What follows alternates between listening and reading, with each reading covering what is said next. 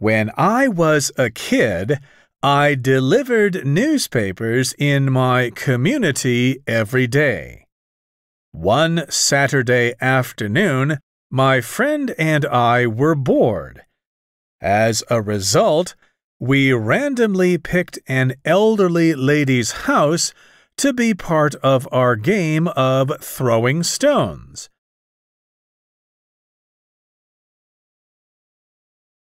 To us, the stones turned into missiles as they rolled to the roof's edge and shot out into the yard. They also looked like comets that fell from the sky.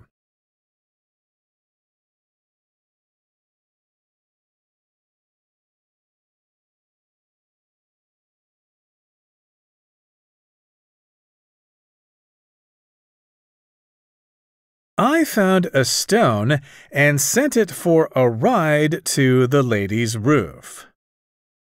However, the stone was too smooth for me to grasp firmly, so it slipped out of my hand when I threw it.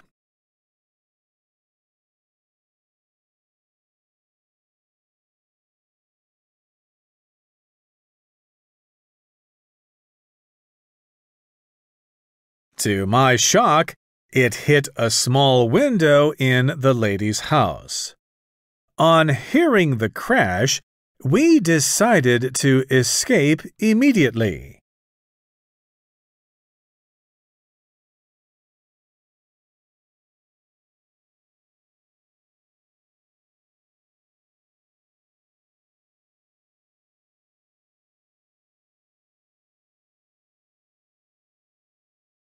For the next few days, I felt so worried about getting caught that I was afraid to think of the elderly lady or her broken window at all.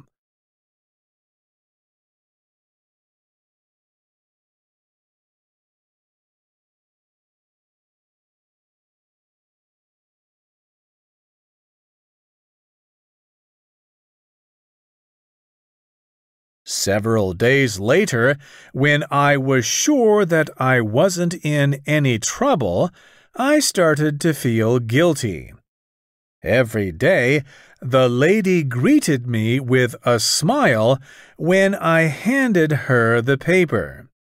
But I no longer felt comfortable in front of her.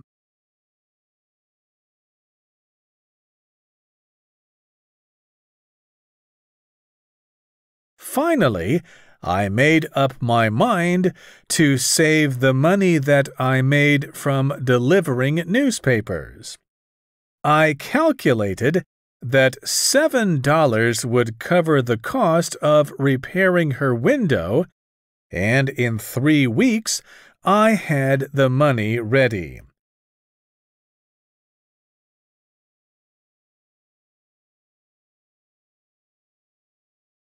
I wrote a note that said, I am sorry for breaking your window.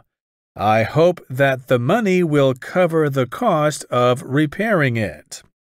Then I put the money and the note into an envelope.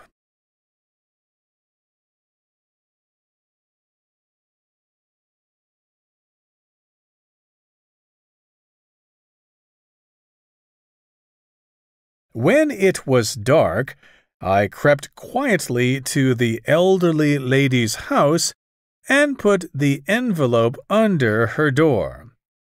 After I did so, I felt relieved and couldn't wait to be able to look her straight in the eye again.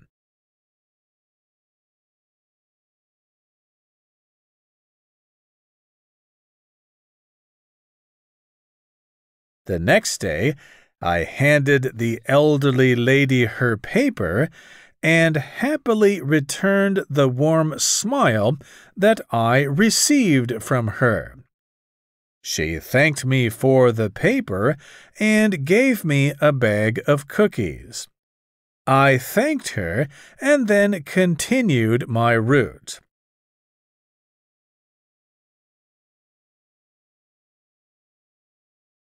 When I was enjoying the cookies, I discovered an envelope inside the bag. I opened it up and felt very surprised.